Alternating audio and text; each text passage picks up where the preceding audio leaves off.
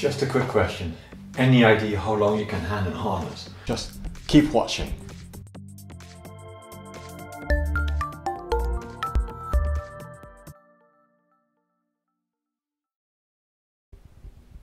In fact, after a fall, presuming you are not harmed, is something limited in time. You will faint and die. Yes, it's lethal if you don't take the right action. You can only stay there for let's say 15 minutes or so. This is called HST or hang suspension trauma. Here is how it works. In fact, the heart is not strong enough to pump all the blood through the whole of your body. So it needs help. And this help can be found into the skeletal muscle pumps. And these pumps are to be found in the legs and only work during a contraction of the leg muscles. The veins in these pumps are squeezed, which makes the blood to be pushed upwards to the heart. And then you have the valves that make sure that the blood doesn't drop down and that doesn't flow back. If there's no more movement in the legs, when the body is in an upright position, the blood will not anymore be pumped and thus stay in the legs. The veins extract and keep the blood in the legs. And as a result of that, there's less blood to go to the heart and brains. Is as a consequence less oxygen, which makes the victim to faint.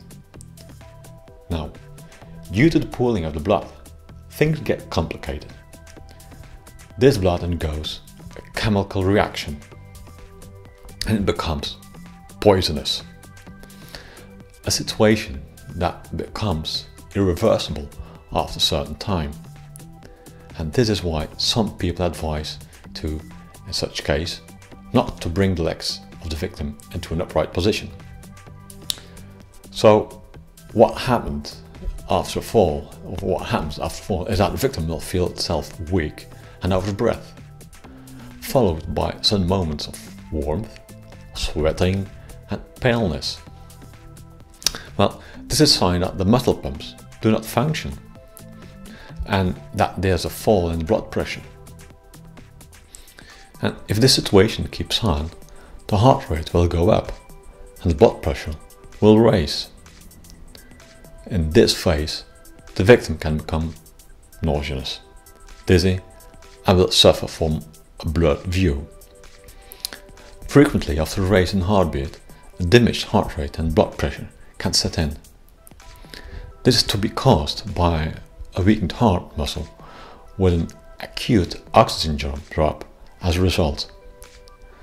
This phase will be damaging, will be very damaging for the victim.